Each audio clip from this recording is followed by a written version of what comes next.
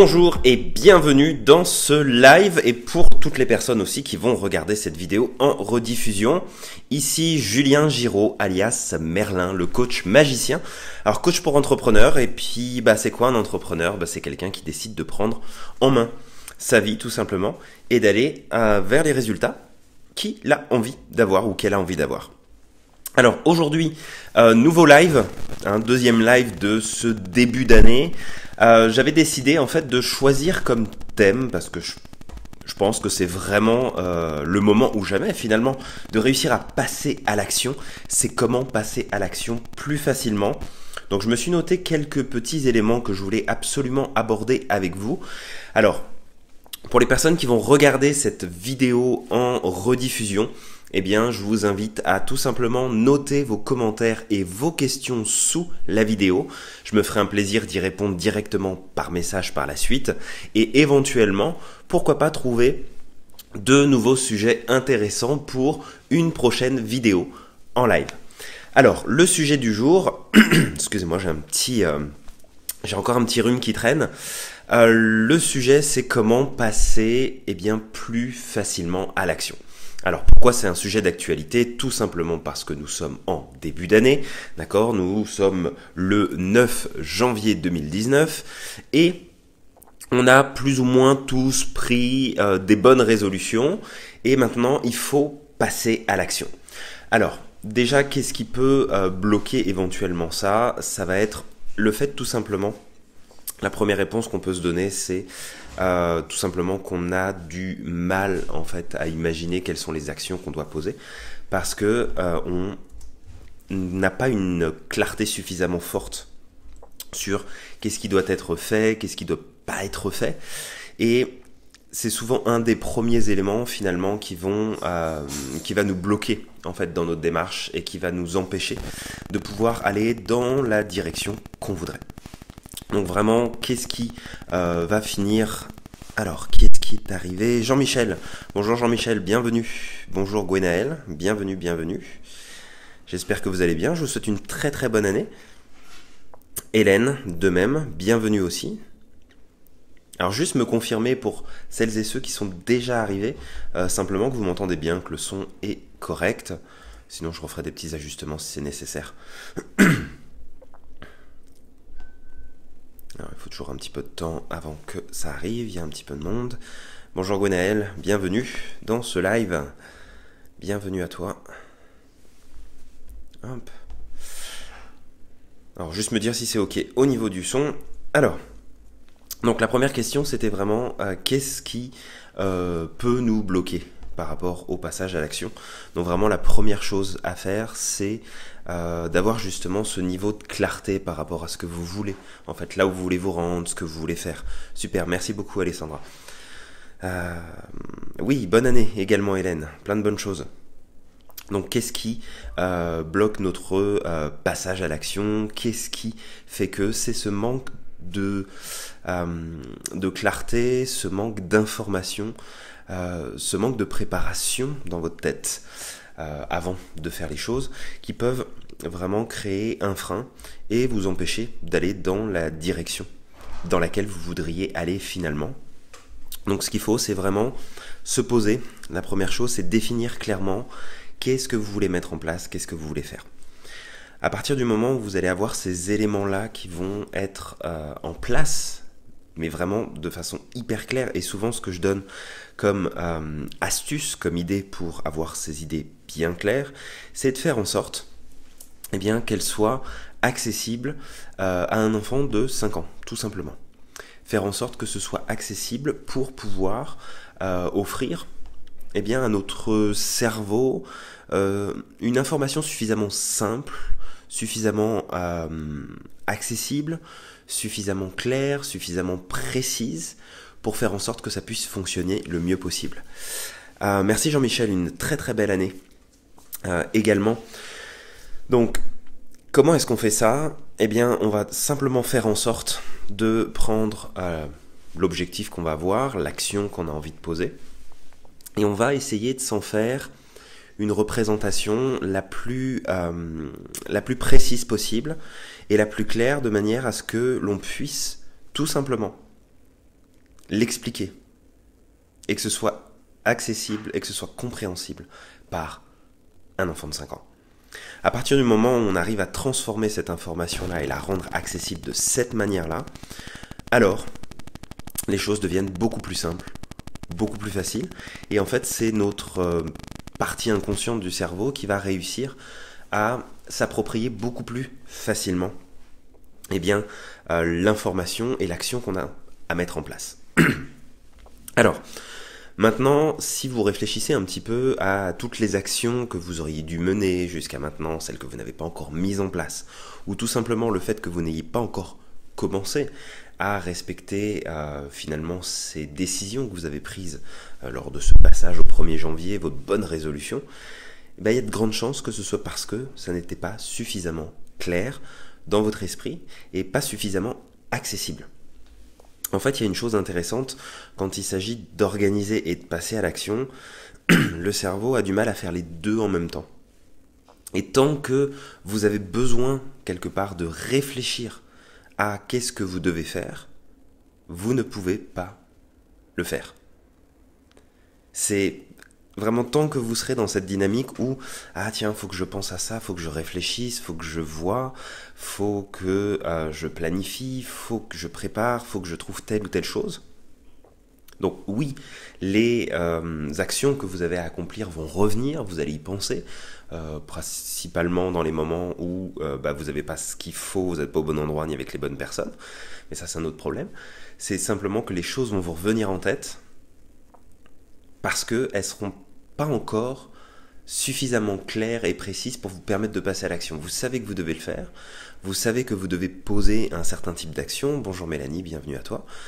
Euh, mais vous n'arrivez pas à passer à l'action parce que vous êtes encore à ce stade de faut que je réfléchisse, c'est pas encore assez clair, faut que je prépare, faut que je prévoie, faut que j'organise, faut que je trouve telle chose, faut que je demande telle information. Et tant que vous en êtes finalement à ce stade, à ce niveau, par rapport aux actions que vous souhaitez poser, eh bien il ne se passera rien du tout. Vous allez juste faire qui penser, qui réfléchir, et puis vous allez le remettre à demain, vous allez remettre ça plus tard, et même si c'est important pour vous. C'est-à-dire que le niveau d'importance, là, objectivement, tant qu'il n'y a pas de clarté, ça changera strictement rien au fait que vous allez passer à l'action ou pas. C'est un peu comme si euh, on devait finalement créer un peu comme un manuel d'utilisateur, euh, un guide pour chaque chose qu'on a à faire, et que tant que ce guide-là n'est pas suffisamment clair et précis dans notre esprit, on n'arrivera pas à se mettre en action. Et probablement que il y en a parmi vous qui euh, vont tout simplement avoir cette habitude de bah, je passe à l'action, je regarde pas le manuel d'utilisateur, je vais me débrouiller tout seul pour euh, lancer l'appareil, pour monter le meuble, pour peu importe ce que vous avez à faire.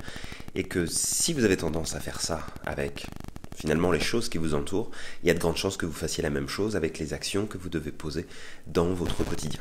Donc la première chose euh, que je vous invite vraiment à faire, c'est ça, c'est prendre le temps de vous organiser et de bien faire en sorte que les choses soient le plus claires possible dans votre esprit.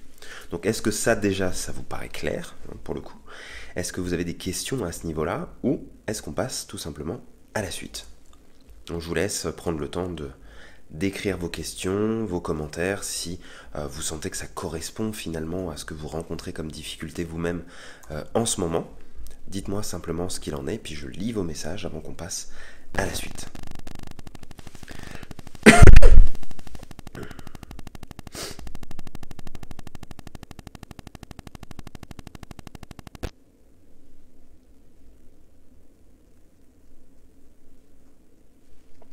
c'est clair pour Alessandra. Ça, c'est une bonne chose. Gwenaël aussi. Impeccable. Si vous avez des questions, n'hésitez surtout pas à les noter. Même en cours de route, euh, on rattrape après. Il hein. n'y a pas de. On s'ajuste. J'ai pas une trame toute faite hein, que je dois. Je me suis juste noté quelques, quelques termes que je voulais vraiment euh, voir avec vous, quelques éléments particuliers. Donc si c'est clair pour tout le monde jusque-là, on continue. Alors, on va juste répondre à ça.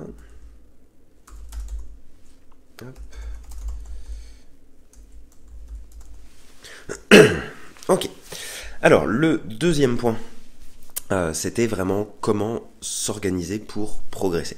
Alors comment est-ce qu'on fait pour s'organiser pardon pour progresser? Dites-moi un petit peu comment vous faites vous, comment vous vous organisez? Marquez-moi simplement quel est l'outil principal que vous allez utiliser pour pouvoir finalement progresser dans les actions que vous voulez poser.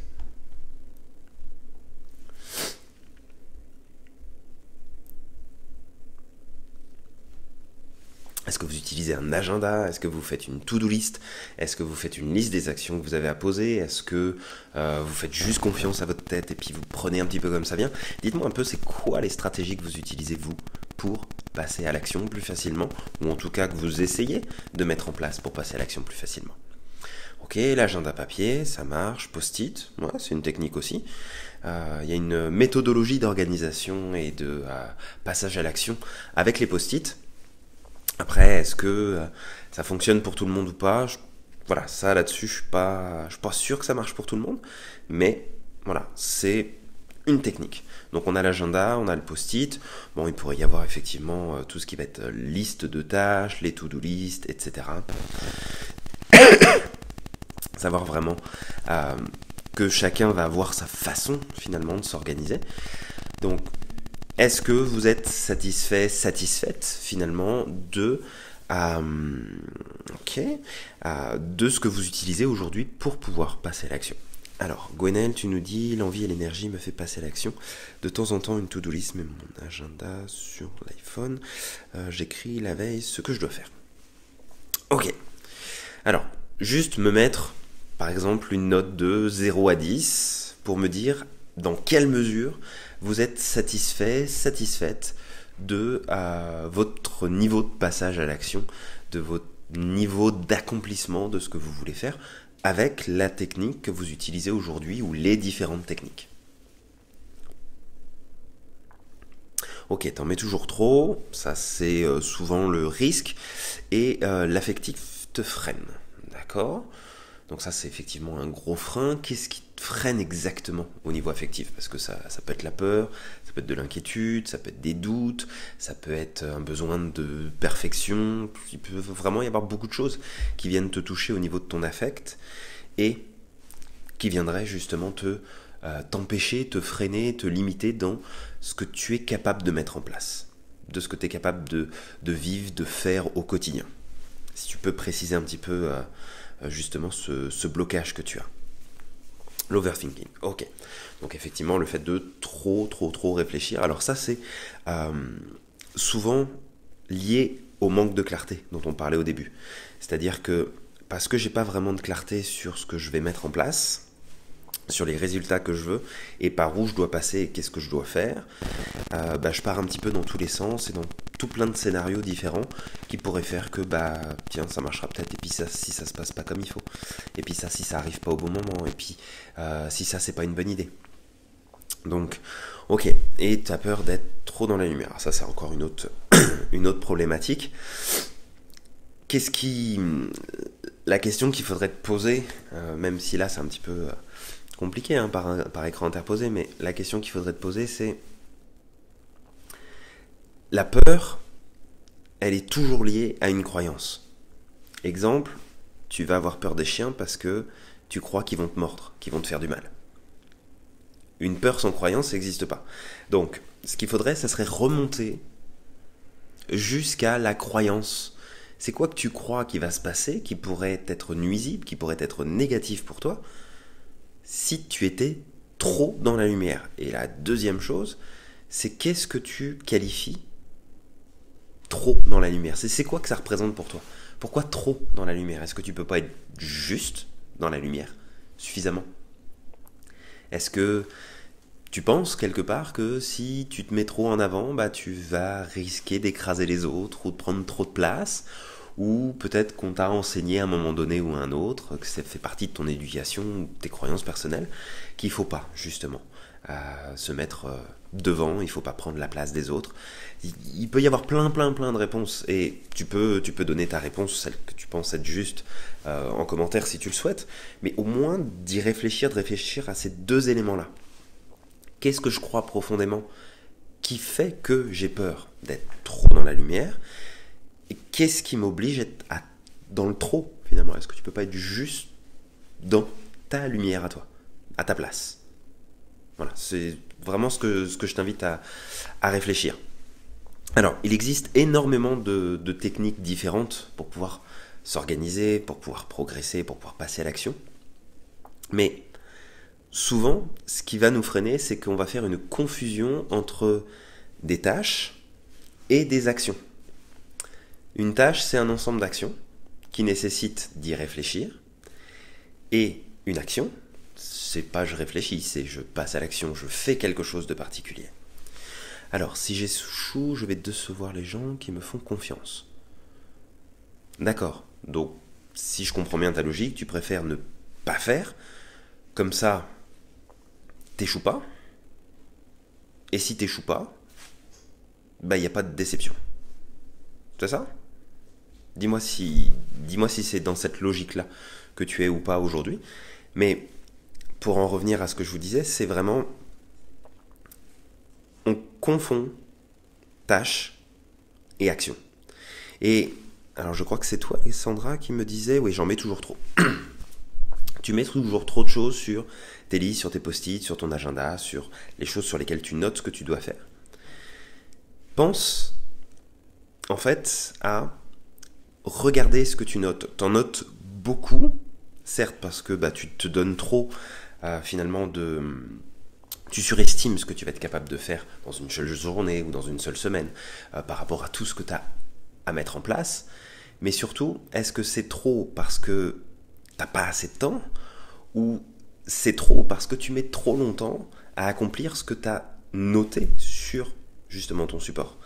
Dans le sens où est-ce que c'est une action que tu as à accomplir et tu sais que ton action va te prendre un quart d'heure, une demi-heure, une heure, trois jours, une semaine, un mois, peu importe Ou est-ce que c'est finalement une tâche que tu dois d'abord résoudre dans ton mental pour essayer de savoir qu'est-ce que tu dois faire comme action pour accomplir ta tâche et que dans ce cas-là, bah, tu es juste dépassé par tout ce que tu dois faire parce que tu sais tout simplement pas ce que tu dois faire.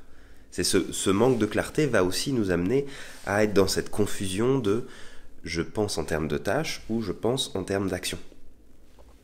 Et en fait, l'action que tu dois rechercher et que on doit rechercher tous le plus possible, c'est d'essayer d'être dans ce qu'on appelle l'action physique. C'est quelque chose qui sort de je dois réfléchir, je dois penser à quelque chose. C'est je le fais, je passe à l'action. Je suis une fusée et je sous-évalue le temps nécessaire pour accomplir les choses en temps réel. Ok. Alors, ça, tu l'as euh, expérimenté depuis un bout de temps maintenant, je pense. Tu sais que tout prend plus de temps que ce que tu estimes, en fait. Tu te dis, bah tiens, je vais pouvoir faire ça en une heure, et puis en fait, il va t'en falloir deux. Alors, un bon moyen de pouvoir justement cadrer plus facilement ton temps, ça va être de euh, mesurer au moins une fois les actions les plus récurrentes tu mets en place. Les choses que tu réalises le plus souvent pour tout simplement avoir une idée de bon bah ça je le fais souvent, je sais que ça va me prendre tant de temps. Si c'est une nouvelle tâche que tu dois accomplir avec un certain nombre d'actions euh, qui font partie, euh, si tu veux, du jeu pour accomplir la tâche, bon bah si tu l'as jamais fait avant, le mieux c'est d'estimer le temps que ça va pouvoir te prendre et d'automatiquement rajouter eh bien, du temps supplémentaire. Après, le but, c'est pas de te dire que tu vas réussir à euh, accomplir quelque chose en un temps donné. Le plus important, c'est que tu l'accomplisses vraiment, que tu le fasses entièrement, plutôt que de te mettre de la pression sur euh, combien de temps ça va te prendre. Après, si tu es pressé, bah, essaye de voir si c'est pas un manque d'anticipation ou d'organisation qui t'a amené à être en retard dans ce que tu fais. Mais sinon, c'est vraiment de faire en sorte de te poser et de te dire ok, j'estime qu'il me faut tant de temps, il va me falloir une heure pour faire ça.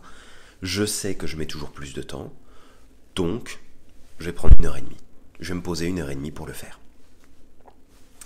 Les deadlines te paralysent. Ok, alors ça, ça se rapproche peut-être un petit peu plus de ce que tu disais tout à l'heure.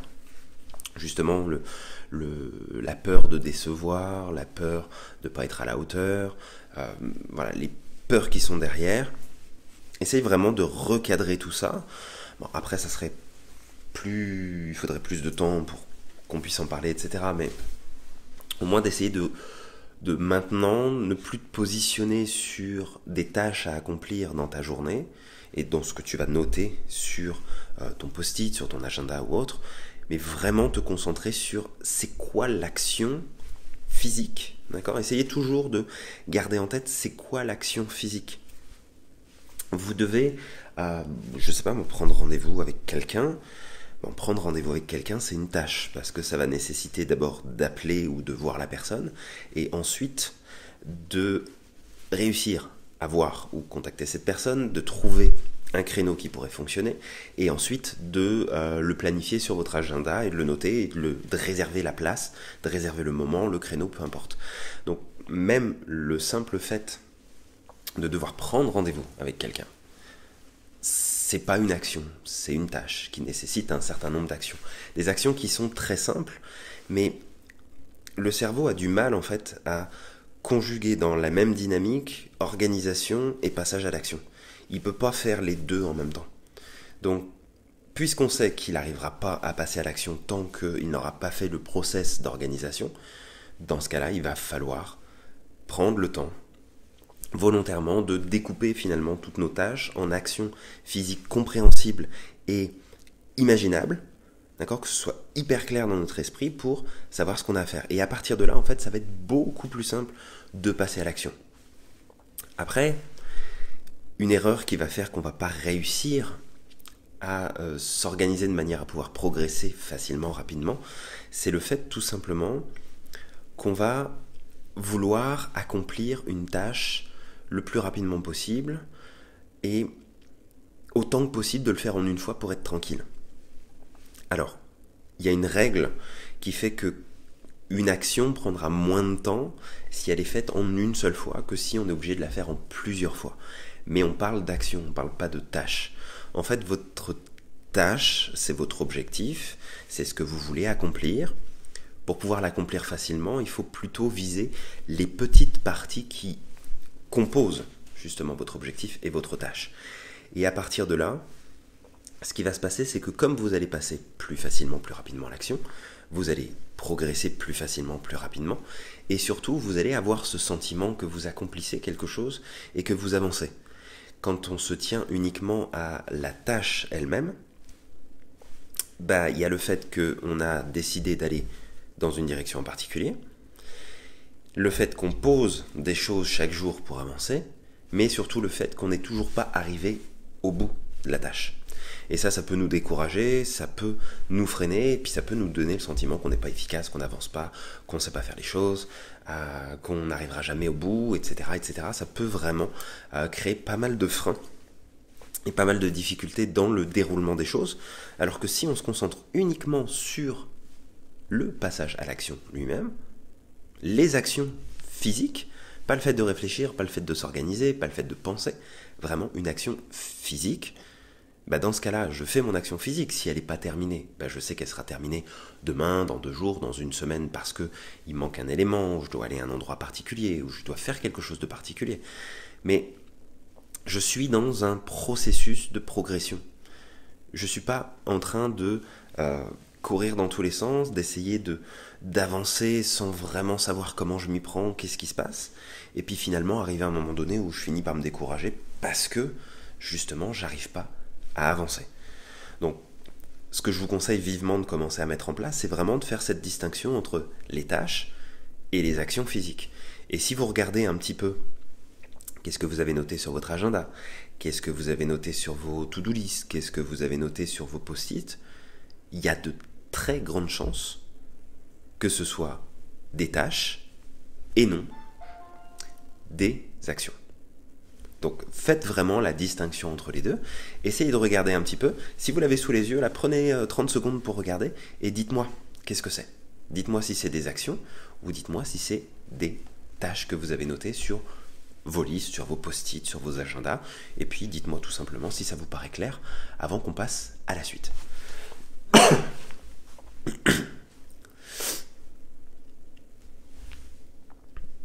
Toujours un petit temps de décalage entre le moment où vous écrivez et où je reçois vos messages. je vais patienter un petit peu, le temps de... Après, si, encore une fois, vous avez d'autres questions qui vous viennent à l'esprit, des choses qui euh, vraiment font que, à ce moment-là, vous me les notez, et puis si c'est pas pour aujourd'hui, ce sera pour une, une prochaine session, je me les noterai pour la prochaine fois.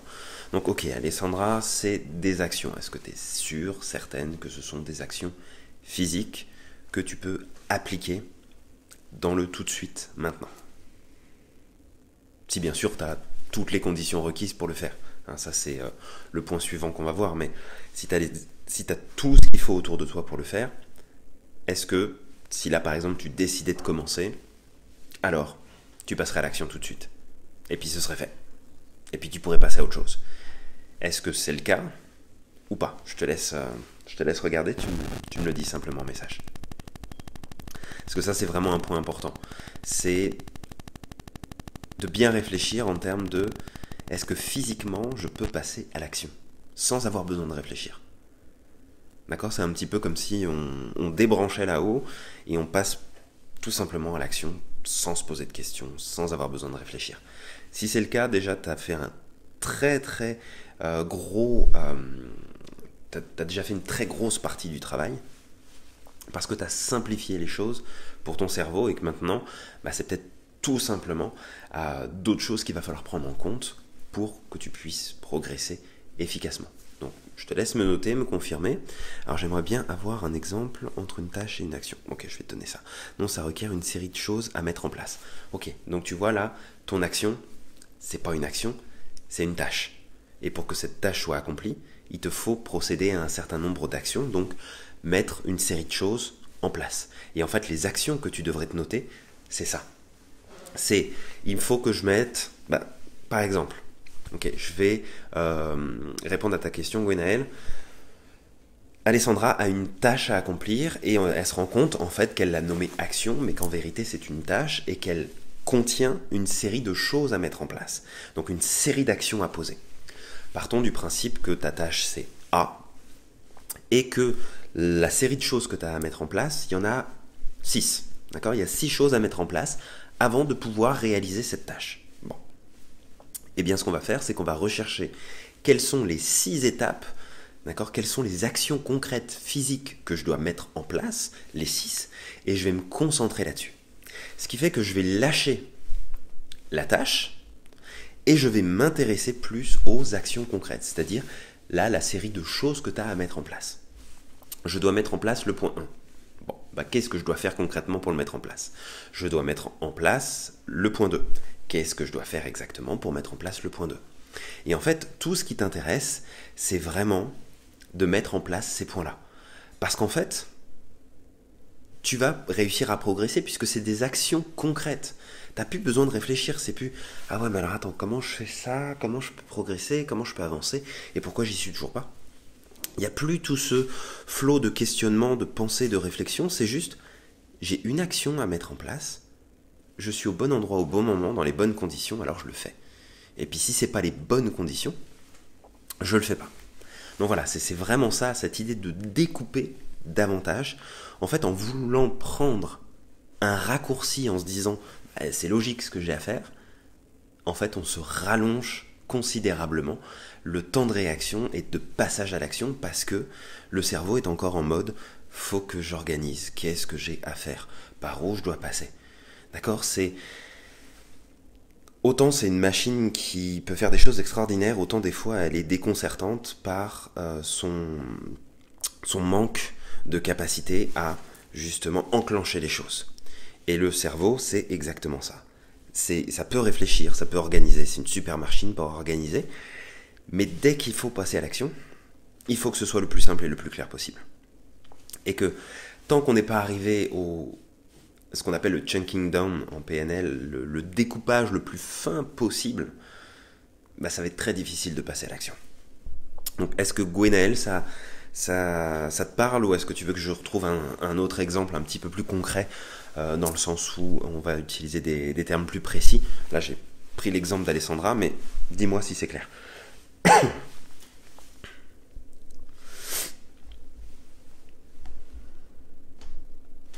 Génial. Donc, maintenant, le troisième point que je voulais amener, c'était comment est-ce qu'on fait pour hacker son cerveau, d'accord Comment on fait pour venir euh, jouer des tours à notre cerveau pour faire en sorte qu'on passe plus facilement à l'action, au bon endroit, au bon moment, quand il le faut.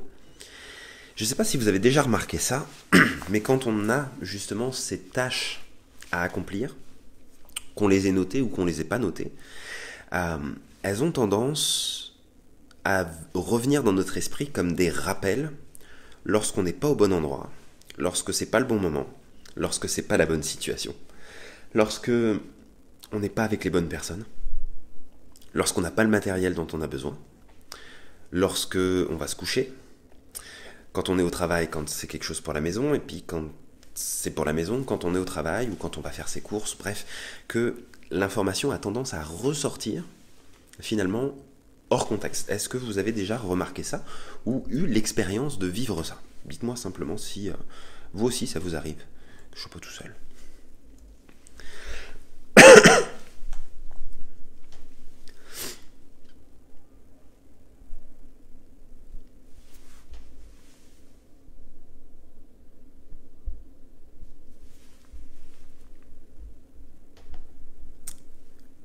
Alors, Alessandra, ça t'arrive.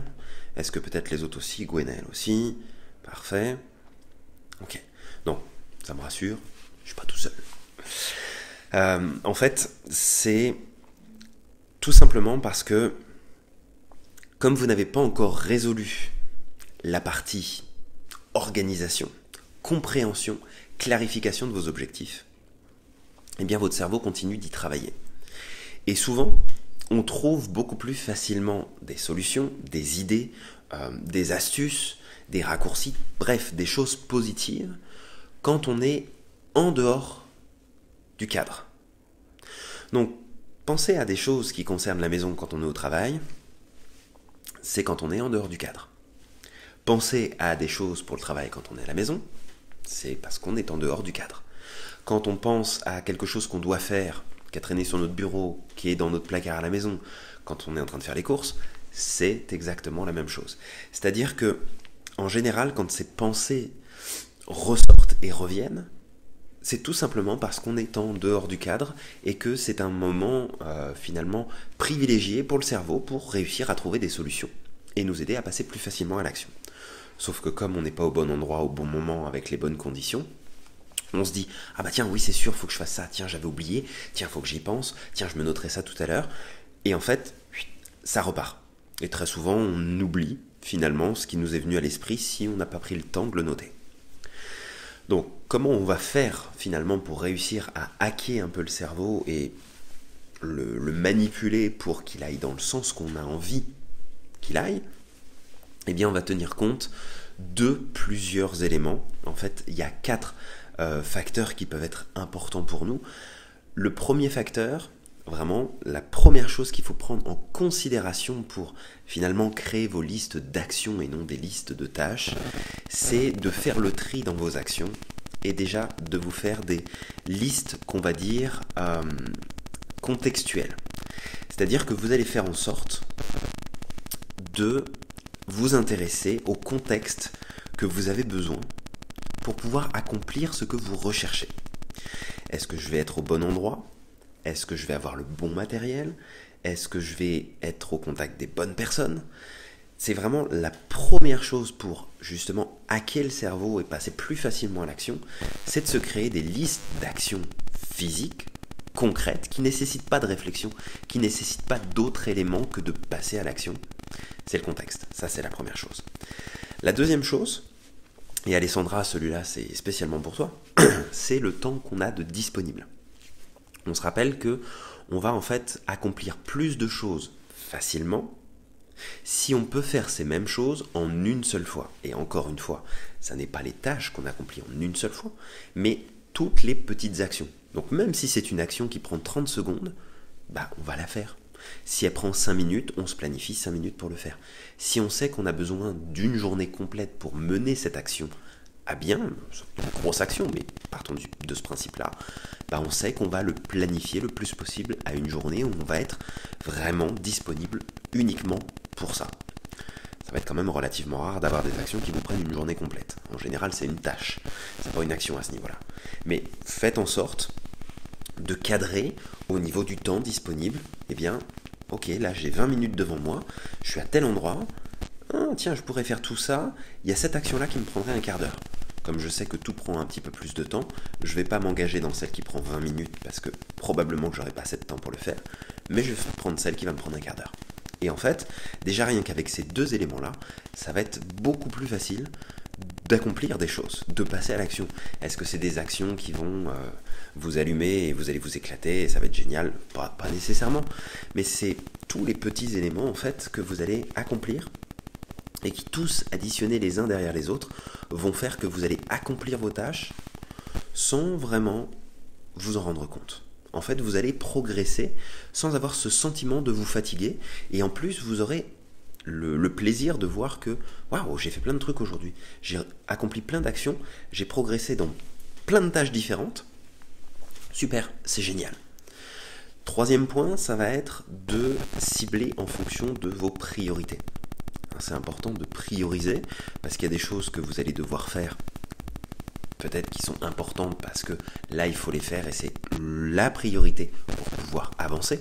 Par exemple, dans tout ce que tu dois mettre en place pour accomplir ta tâche, Alessandra, c'est tu as forcément des choses qui vont venir en premier. Je ne vais pas faire l'action B si je ne peux pas passer à la C sans avoir fait la A avant sauf si le contexte me permet de faire la B à ce moment-là. Après, on, s'ajuste en fonction de ces quatre critères. Donc là, on en a trois. C'est le contexte, c'est le temps disponible, et c'est aussi l'ordre des priorités. Donc vraiment de savoir quelles sont les priorités que vous devez mettre en place. Ça, c'est vous qui pouvez le déterminer. Et l'autre point qui vient aussi, alors je remonte un petit peu le fil des questions et commentaires. Je crois que c'est Gwenel. Oui. Gwenel, tu disais l'envie et l'énergie. Alors, l'envie, effectivement, c'est une chose. Maintenant, si tu n'as pas envie de faire les choses, change peut-être tes objectifs, peut-être parce que ça ne te parle pas. Ou alors, si vraiment tu en as envie, tu réajustes. Mais c'est surtout le point d'énergie qui, attire mon attention, puisque c'est un des quatre critères qui va faire que vous allez passer plus facilement à l'action on n'a pas besoin de la même quantité d'énergie pour faire une action ou une autre action. Peut-être que vous pourriez vous réserver toutes les petites actions ou grandes actions qui ne nécessitent pas d'être en pleine forme pour quand vous n'êtes pas en pleine forme. D'accord Mettre tout simplement l'action avec le niveau d'énergie que ça nécessite pour pouvoir la faire correctement et arrêter de vous mettre dans des moments où vous êtes fatigué, vous n'avez pas le moral, vous êtes euh, malade, vous êtes euh, contrarié, peu importe, où votre niveau finalement d'énergie n'est pas suffisamment élevé, et de vouloir accomplir des actions qui nécessitent que vous soyez en pleine forme. Parce que dans ce cas-là, vous allez mettre beaucoup plus de temps pour les faire puisque vous n'avez pas l'énergie nécessaire pour le faire. Vous allez probablement vous décourager, vous allez vous arrêter en cours de route, et puis vous allez en fait euh, mettre comme un, comme un grain de sable qui va venir enrayer le système, enrayer l'engrenage, parce que vous n'aurez pas respecté ce euh, critère finalement d'énergie. Donc je vous répète les quatre très simplement. Le premier, c'est le contexte. Est-ce que je suis au bon endroit avec les bonnes personnes, avec les bons éléments pour faire telle action que j'ai sur ma liste. La deuxième, c'est est-ce que j'ai le temps disponible pour le faire en une seule fois? Après, si je l'ai pas, mais que ça se présentera pas, bah à ce moment-là, je découpe, c'est pas grave, mais idéalement, je fais en une seule fois ce qui est possible. Le troisième, c'est est-ce que c'est une vraie priorité? Est-ce qu'il n'y a pas des choses qui sont plus importantes là tout de suite maintenant pour avancer? Et que ça je pourrais le faire plus tard. C'est pas une raison pour procrastiner tout ce que vous avez à faire, d'accord? C'est juste d'être dans une logique d'accomplissement des choses pour que ça puisse fonctionner correctement. Par exemple, vous pourriez tout à fait hiérarchiser les points que vous avez à accomplir, parce que peut-être que sans l'action numéro 1, vous ne pouvez pas passer à la 2, et sans la 2, vous ne pouvez pas passer à la 3, etc., etc. Comme ça, au moins, vous savez ce que vous devez faire. Et quatrième point, c'est votre niveau d'énergie. Est-ce que vous avez suffisamment d'énergie pour faire ce que vous avez à faire? Et que si vous ne l'avez pas, et que c'est pas la priorité du moment du jour, là, tout de suite maintenant, bah dans ce cas-là, ça sera beaucoup plus avantageux pour vous de le planifier pour le lendemain ou pour la semaine d'après, où vous allez eh bien, vous organiser de façon à être en pleine forme pour pouvoir faire cette action-là. L'avantage d'utiliser ces quatre critères pour filtrer finalement vos, vos, listes d'actions, c'est que vous allez pouvoir en fait vous mettre dans l'action en permanence. Alors, après, vous avez en gros trois options pour pouvoir passer plus facilement à l'action. Et ça va être selon aussi votre, euh, votre attirance par l'organisation vraiment hyper précise, hyper carrée, ou alors le côté un petit peu plus freestyle. Ça, ça vous appartient, sachant que parfois, bah, bah vous allez faire organisé, parce que vous n'aurez pas le choix, parce que ce sera dans vos priorités de faire telle ou telle chose, donc il faudra l'organiser, le poser sur votre agenda, mettre une date précise pour faire les choses. Et puis de temps en temps, bah parce que ça se présentera comme ça, parce que vous serez au bon moment avec les bonnes personnes, avec les bonnes conditions et que vous aurez le temps, et que vous ne l'aurez pas planifié, ce sera le moment idéal pour pouvoir passer à l'action.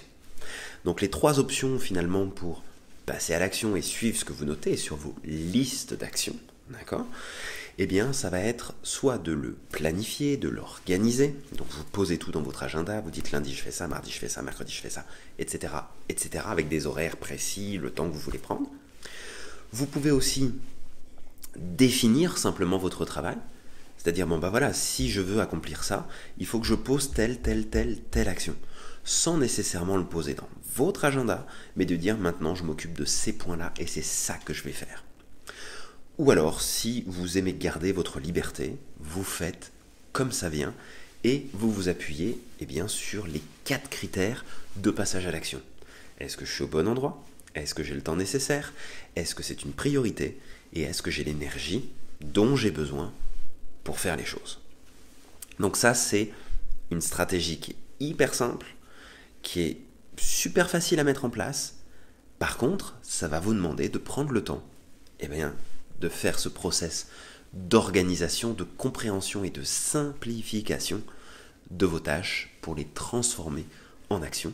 Et de ces actions, vous allez tout simplement pouvoir progresser. Est-ce que ça, ça vous paraît clair? Ces fameux quatre critères et ces trois options d'organisation que vous pouvez faire, c'est je m'organise, je définis le travail que j'ai envie de faire, ou je prends comme ça vient et puis je le fais en mode freestyle. Dites-moi un petit peu si... Euh, ça a du sens pour vous tout ça.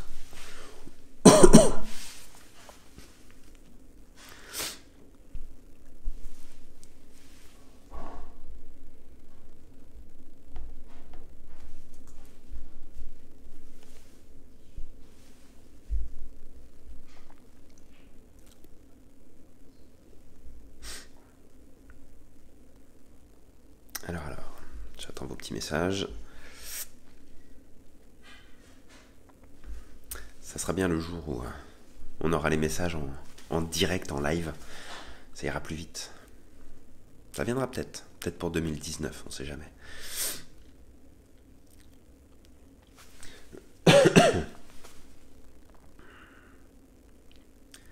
Alors, un peu plus de précision sur le temps. Ok, oui, ça me parle. J'aime la stimulation car j'ai besoin d'adrénaline pour me motiver et en même temps, j'apprends doucement à me mettre politique des petits pas pour pas être trop frustré. Ok. Alors, on va faire dans l'ordre. Donc, euh, un petit peu plus de précision sur le temps disponible. Ok. Imaginons que euh, du sens et de l'action. Absolument, Jean-Michel. Tout à fait. Donc, Gwenaël, imaginons que dans ta liste d'actions, tu sais que tu as une action qui va nécessiter de prendre, euh, je sais pas, 45 minutes, par exemple tu sais que sur ta liste, c'est marqué, voilà, je dois faire action 1, et cette action 1, voilà, je sais que ça va me prendre à peu près 45 minutes. On sait que tout prend toujours plus de temps, donc on va se rajouter un petit quart d'heure pour le principe. Donc on va dire, il me faut une heure pour faire telle chose. Si je suis dans le bon contexte, j'ai un niveau d'énergie qui est au top pour pouvoir faire cette action-là. C'est, ça fait partie de mes priorités, il n'y a rien de plus urgent à faire. Donc ça veut dire que j'ai déjà trois des quatre conditions requises pour pouvoir passer à l'action. Par contre, je me rends compte que, bah, en fait, je vais avoir un rendez-vous qui arrive dans 20 minutes ou dans une demi-heure. Je risque en fait de mettre en péril ma capacité à passer à l'action. parce que je vais devoir m'arrêter en cours de route. Je ne vais pas réussir à aller jusqu'au bout. Alors, on peut prendre le risque de se dire bon bah je vais découper en deux fois je vais prendre la première demi-heure et puis bah je referai plus tard.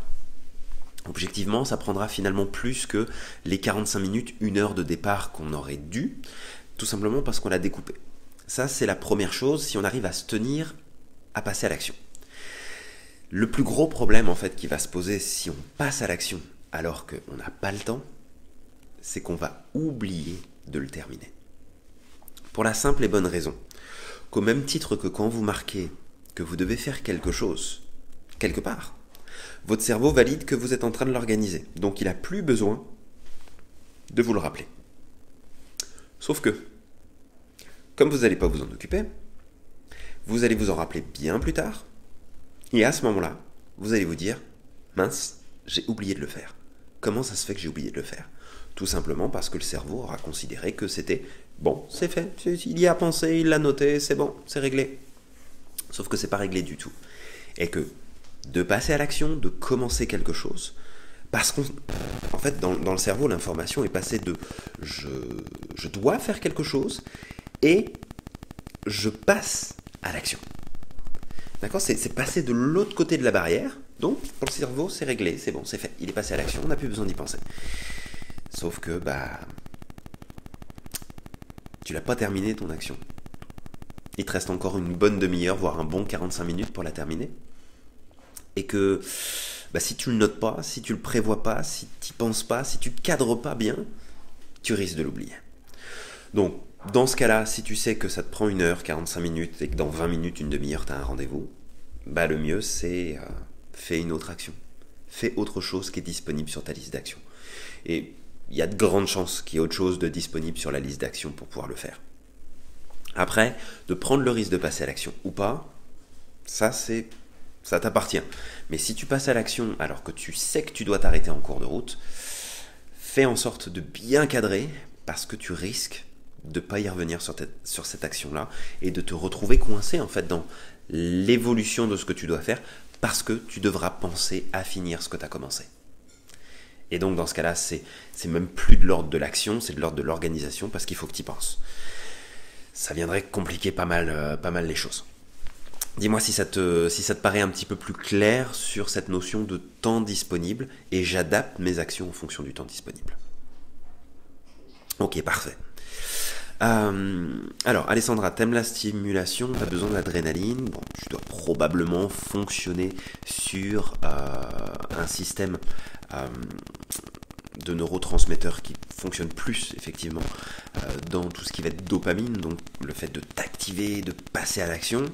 Alors, il y a un truc qui est assez curieux et on va dire amusant quelque part dans le cerveau, c'est que tu peux faire une action qui va venir te stimuler, vraiment beaucoup. Ton cerveau va euh, produire de la dopamine, puis tu vas te sentir bien, puis tu vas être dans l'action parce que c'est ton profil, parce que tu aimes ça. Bah tu, tu passes à l'action, tu vis ce moment où tu as de la stimulation et tu as de la dopamine qui est produite à fond les ballons là-haut. Ok. Le problème, c'est qu'à partir de ce moment-là, qu'est-ce qui se passe? C'est que la prochaine fois que tu vas poser la même action, le même type d'action, dans les mêmes conditions, etc., eh ben, tu vas pas l'avoir ce pic de dopamine. Alors oui, tu vas passer à l'action, oui, tu, vas avoir des choses qui vont se mettre en place, mais tu vas pas retrouver la stimulation que tu avais au départ. Pourquoi? Parce que le cerveau connaît déjà l'action. Et qu'il va falloir que tu ailles chercher un petit peu plus loin. Et ça peut peut-être expliquer en partie pourquoi, sans vraiment t'en rendre compte, tu te surcharge ce que tu es censé faire dans ta journée parce que tu recherches à vivre cette stimulation au fond de toi et de faire plus de choses, de vivre plus de choses intenses, d'aller plus loin, d'aller plus fort. Et en fait, ce que, quand tu dis, voilà, j'apprends doucement à mettre la politique des petits pas, en fait, ça va te rendre service de faire ça. Parce qu'en vérité, si tu fais des petites actions et que tu vas chercher des petites stimulations, eh ben, tu vas pouvoir toujours rajouter quelque chose d'intéressant. Tu vas pouvoir toujours ajouter quelque chose de positif, d'agréable, de stimulant à ce que tu es censé faire. C'est comme si euh, tu courais tous les jours, puis tu prends le même parcours, et puis tu cours à la même vitesse, tu fais toujours tout pareil. Au bout de quelques semaines, là, tu vas en avoir marre de toujours prendre le même circuit, de toujours courir à la même vitesse, et tu vas aller chercher plus loin. Tu vas, tu vas vouloir faire un kilomètre de plus, ou tu vas vouloir courir plus vite, ou tu vas vouloir t'ajouter quelque chose, changer d'environnement. Tout simplement parce que une action qui amène de la production de dopamine à un certain niveau, eh bien la même action reproduite pareil ne produira pas le même niveau de dopamine. Et si c'est ton carburant à toi, tu vas avoir du mal à te sentir stimulé, donc à passer à l'action, donc à vouloir progresser, etc. etc. Je sais pas si ça te paraît clair, mais dis-moi si ça te paraît bien clair, et que cette idée-là de mettre en place les petits pas, c'est juste idéal pour toi. Tu fais juste en sorte de te rajouter un petit quelque chose de nouveau, de différent, de challengeant, mais pas en grosse quantité, en petite, pour satisfaire ton besoin de dopamine pour fonctionner, et te permettre d'avoir finalement de la prévision, de prévoir à l'avance eh bien, le fait que tu vas pouvoir recevoir à nouveau de la dopamine et rester dans ce qu'on pourrait appeler de la motivation, même si ça, ça ne fait pas que de la motivation, hein, la dopamine, ça fait partie du, du processus. Alors Gwenel, c'est bon. Et Alessandra, ok, donc très exact, je ne supporte pas la routine. Oui, alors après, on a tous plus ou moins... Euh, bonjour Akram, bienvenue dans ce live. Alors, t'arrives, je dirais, euh, à la fin, mais t'es euh, vraiment bienvenue à tout simplement revoir la rediffusion qui va être disponible sur la page et aussi sur YouTube. Et s'il y a la moindre question, moindre précision, de mettre un petit message, ça me fera plaisir d'y répondre. Donc, oui, la routine est une chose euh, que tu n'aimes pas, mais il faut pas en fait que tu euh, te mettes dans une dynamique qui va faire que tu vas te piéger toute seule parce que sous, couvert que t'aimes pas justement la routine, où tu vas chercher plein de trucs qui vont changer. Fais en sorte de trouver un certain confort, fais en sorte de te positionner sur ces fameux petits pas, de pas trop charger tes journées, parce que en fait, au lieu de te stimuler, tu vas juste te stresser et puis tu vas juste euh, être overwhelming. Là, c'est juste, c'est juste pas possible. Alors j'ai tendance à foncer sur les micro-tâches urgentes. Après, je perds parfois de vue. ouais. Alors, ça c'est une autre problématique et ça sera résolu en partie si vous faites ces fameuses listes d'actions. D'accord? C'est pas des to-do list, c'est vraiment des listes d'actions physiques. Et posez-vous la même question que j'ai demandé à Alexandra tout à l'heure. Est-ce que vous êtes sûr que ça nécessite pas d'autres actions pour être accomplies? Tant qu'il y a des actions nécessaires pour accomplir l'action entre guillemets que vous avez trouvée, c'est que c'est pas une action, c'est que c'est une tâche. Foncez sur les injonctions, finalement, tout ce qui t'arrive autour de toi. C'est souvent parce qu'il y a eu manque d'anticipation et parce qu'il n'y a pas d'organisation. Si tu planifies pas un minimum ce que tu veux faire dans ta journée, c'est-à-dire prendre au hasard et faire comme ça vient, parce que ça fonctionne, ou alors te planifier dans le sens je veux accomplir tout ça aujourd'hui, ou de le mettre à l'agenda. En fait, à chaque fois qu'il va y avoir de l'espace libre, tu vas avoir des, euh, des imprévus, chercher le mot, des imprévus qui vont s'installer. Et parce que tu es dans cette dynamique de je réponds finalement, tiens, il y a un oiseau qui piaille là, je veux savoir où il est, tiens, il y a un truc qui est tombé, je veux savoir ce que c'est, tiens, on sonne à la porte, tiens, il y a mon téléphone, tiens, il y a, y a des, y a des pop-up qui apparaissent sur mon écran, parce que ça va avec le fonctionnement de ton cerveau, parce que ça, ça déclenche de la dopamine, tiens, un nouveau truc, je suis contente. Si tu fais pas attention à ça, bah c'est sûr que tu vas perdre de vue ton objectif. Après, tes objectifs prioritaires, je te dirais que tout le monde va avoir tendance à perdre le focus parce qu'on va manquer de clarté sur, ces éléments-là. Donc ça serait de revenir à ce qu'on disait au début, c'est prendre le temps d'avoir suffisamment de clarté pour que ça devienne accessible. Merci pour les, pour pouces. Euh, donc voilà, est-ce que ça, ça paraît clair, Alessandra, de ce que tu peux mettre en place aujourd'hui Bien sûr, il y aurait plein, plein, plein de choses à, faire, mais au moins déjà avec ça, tu peux progresser. Donc juste me dire, voilà, si c'est clair, si vous avez des questions, je vous invite à les noter là, si vous souhaitez que j'y réponde tout de suite. Et puis sinon, bah, je vais prendre deux minutes pour refaire le point sur tout ça. Et puis ensuite, je vous laisserai pour aujourd'hui. Alors, pour moi, une journée réussie, satisfaisante, c'est une journée où je me suis dépassé, où j'ai dépassé mes hyper élevés, donc ça arrive rarement. Ok. Euh, ce qu'il faut que tu vises, c'est pas le, la satisfaction d'arriver au résultat. Ok, super, je suis très content si, si ça t'aide. Euh, le résultat est important, oui, très important. Mais le plus important, c'est le chemin que tu vas parcourir et la progression que tu vas vivre dans tout ça. C'est c'est pas en te mettant des objectifs avec une barre très haute et je te dis pas de pas la mettre très haute. Au contraire, il faut la mettre suffisamment haute pour te permettre de progresser, mais pas trop haute non plus pour pas te décourager. Imagine que tu sois debout, les bras en l'air, tu as une barre qui est juste au-dessus de toi. Mettre la barre haute, mais que tu puisses l'atteindre juste en tendant les bras et pour t'accrocher dessus, ça serait pas suffisant. Ça veut dire que tu ferais quelque chose que tu as l'habitude de faire et ce serait pas de la progression. Mais il y a des choses que tu peux faire comme ça. Maintenant, si tu la mets 10 étages plus haut, tu pourras sauter de toutes tes forces là, il se passera rien du tout, tu vas t'épuiser, tu vas pas progresser, tu vas te décourager. Ce qu'il faut, c'est rajouter en fait la petite distance suffisante pour que quand tu tendes les bras, tu l'attrapes pas et que ça nécessite que tu sautes sur place une fois, deux fois, trois fois, dix fois s'il faut, jusqu'à ce que tu aies suffisamment de détente pour pouvoir attraper la barre que tu as mise un petit peu plus haut. Et c'est ça qui va te faire progresser. C'est pas le fait de dire, voilà, aujourd'hui je peux faire un 10, mais je vais me mettre un 30 et puis je vais essayer d'aller à 30. Parce que si tu fais 15, c'est une super note.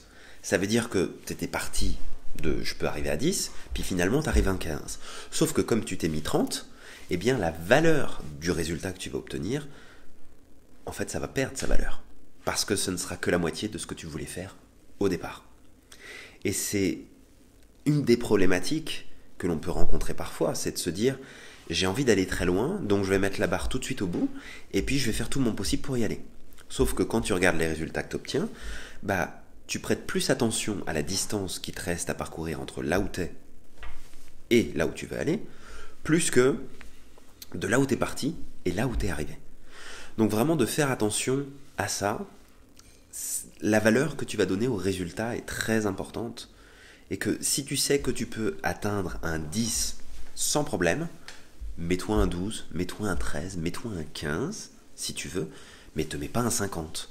Si tu te mets un 50, bah ça sert à rien de te mettre des coups derrière la tête le soir et puis de euh, t'insulter quand tu es devant le miroir le matin euh, en sortant de ta douche parce que t'as pas réussi à faire les choses je veux dire, tu t'es mis des conditions où de toute façon, ça pouvait pas marcher. Ça, ça, pouvait pas fonctionner.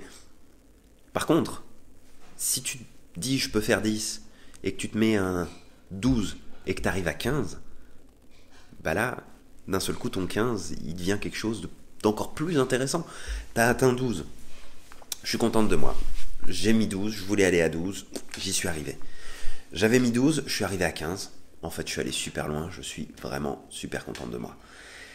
Ça reste la même note. T'es à 15, t'es pas encore arrivé aux 50 que tu voudrais plus tard. Mais c'est pas grave, parce que le lendemain, tu vas te dire, bon, bah, maintenant que je suis à 15, bah, je vais essayer d'aller à 25, tiens.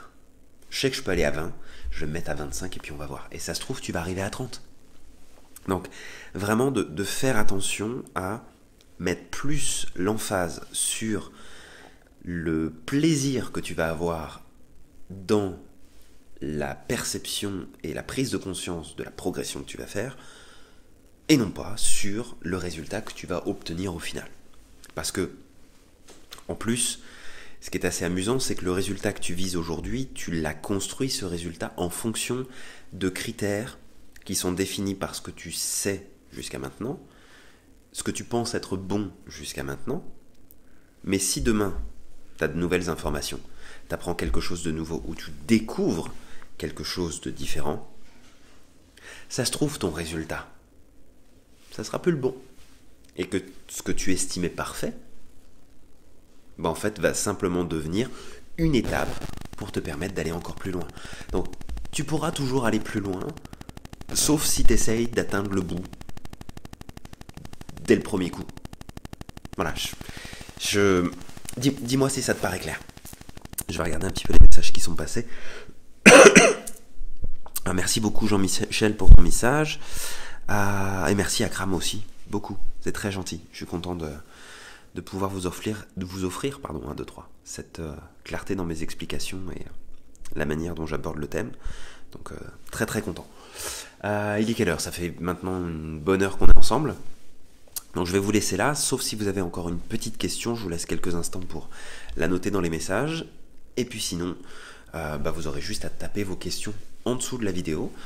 D'accord Et puis comme ça, bah, je pourrai vous répondre soit par message, soit à travers une autre vidéo plus tard. Euh, ok, bah écoute, je suis très très très content euh, d'avoir réussi à cerner tes, euh, tes défis. Maintenant, tu as quelques clés. À toi de commencer à appliquer ça. Et puis, on aura sûrement l'occasion d'en reparler un petit peu plus tard. Donc, j'attends encore quelques instants, voir s'il y a d'autres questions qui arrivent. Et sinon, on se retrouvera dans le groupe. et puis, pour une prochaine vidéo très très bientôt.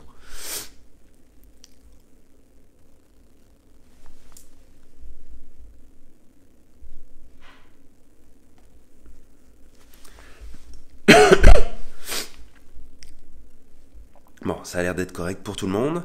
Donc, encore une fois, si vous avez la moindre question pour les personnes qui sont présentes et pour toutes celles qui vont regarder la rediffusion, vous notez vos questions juste en dessous. Et je me ferai un plaisir de répondre à vos questions, à vos commentaires. Et en tout cas, merci beaucoup donc pour votre attention. N'oubliez pas à quel point vous êtes magique et que vous avez le pouvoir de réaliser absolument tout ce que vous voulez.